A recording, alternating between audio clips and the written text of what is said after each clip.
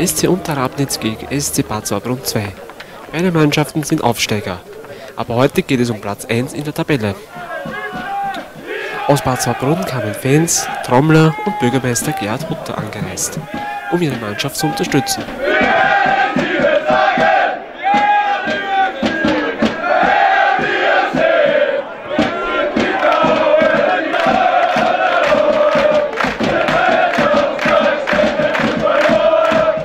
Aber auch der Unterrabnitzer kamen zahlreich, um ihre Mannschaft anzufeuern, wie hier mit begalischen Feuern.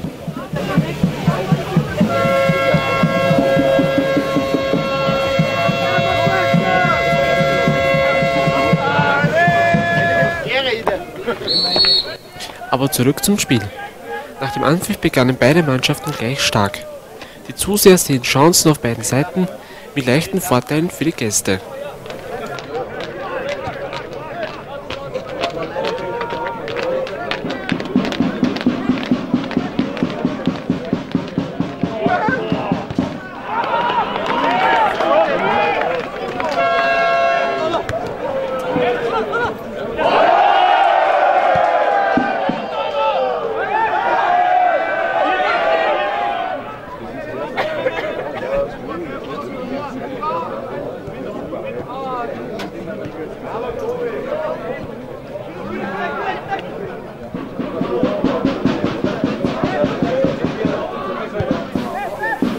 Torchance und Torchance, aber kein Tor. Beide Mannschaften spielen immer aggressiver und immer mehr unnötige Fouls werden gemacht.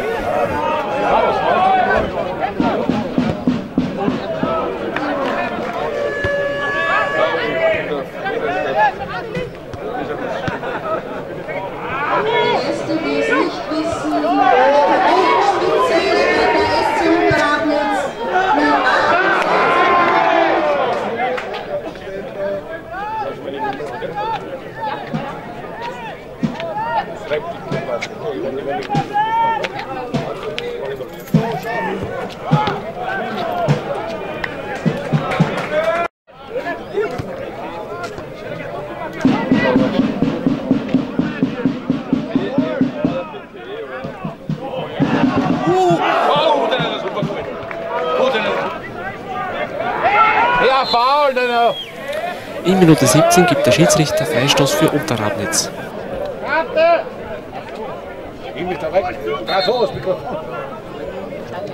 So, nicht, du steck aus. Entschuldigung. Tut mir leid.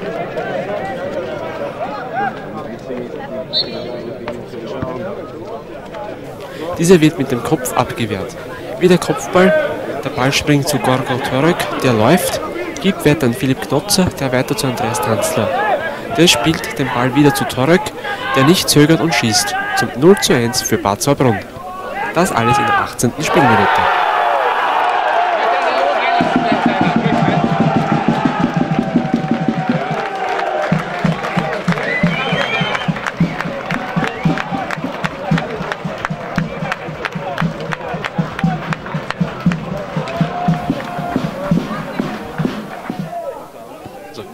Tor scheint die Heimmannschaft aufgeweckt zu haben. Sie spielen jetzt immer stärker und aggressiver. Mit dem Regen wurde das Spielfeld rutschiger. Jetzt heißt es für den Schiedsrichter gut aufpassen. Faul oder einfach ausgerutscht.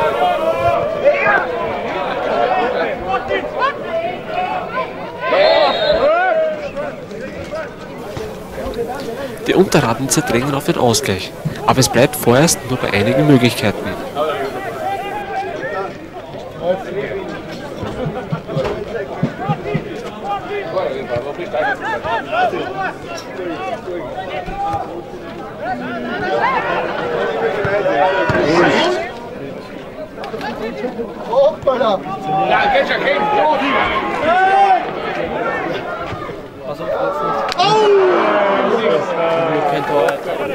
Bis zur 40. Minute fallen keine Tore mehr. Aber die Anzahl der gelben Karten steigt auf drei. Bis zum Spielende werden gesamt neun gelbe Karten verteilt.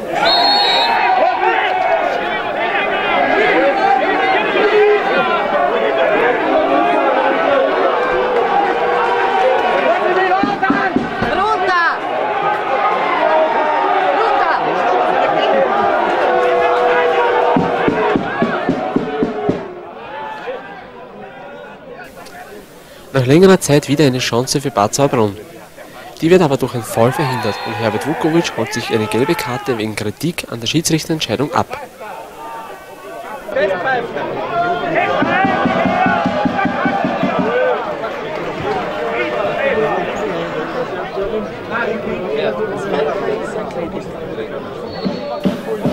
Der Schiedsrichter beendete die erste Halbzeit dann mit einem Pausenstand von 0 zu 1.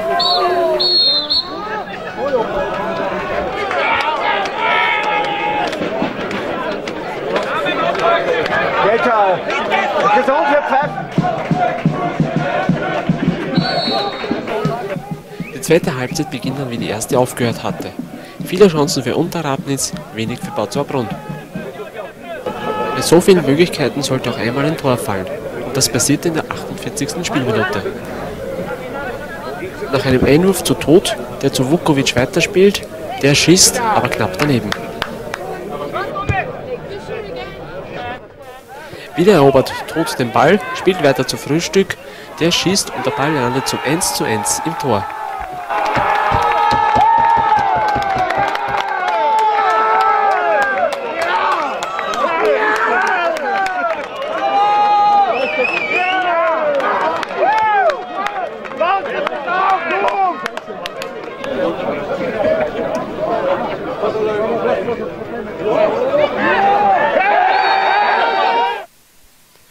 Diesem umstrittenen Foul gibt der Schiedsrichter Elfmeter für Unterradnitz.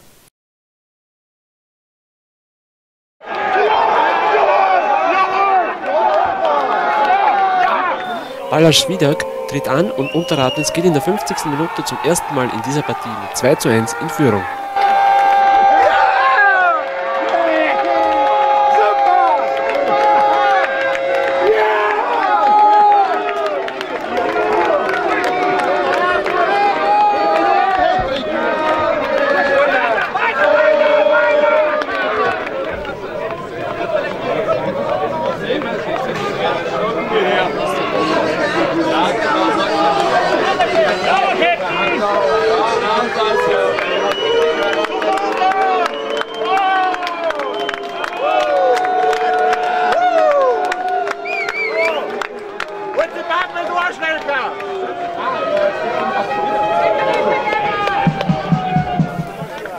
Es scheint, dass nicht nur die Zuseher, sondern auch die Funktionäre und Reservespieler so stark emotional aufgeladen waren, dass sogar der Schiedsrichter eingreifen musste.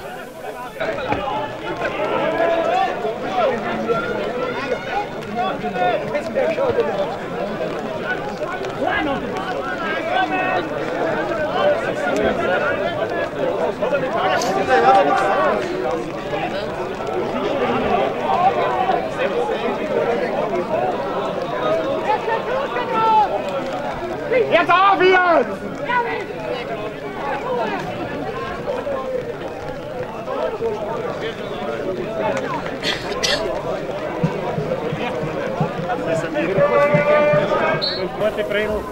Siebzigste Spielminute. Ein Foul.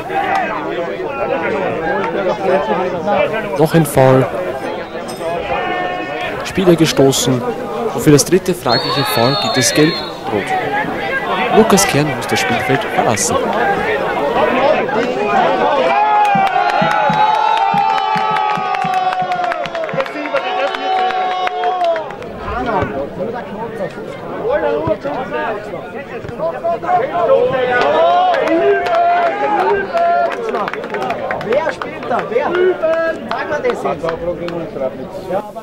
Für die Sauerbrunner wird es jetzt mit 10 Mann auf dem rutschigen Spielfeld noch schwieriger, das Spiel zu drehen.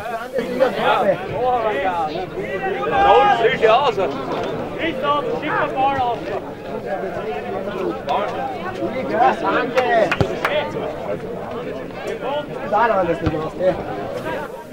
Es scheint, dass sich die Sauerbrunner mit der Niederlage abgefunden haben.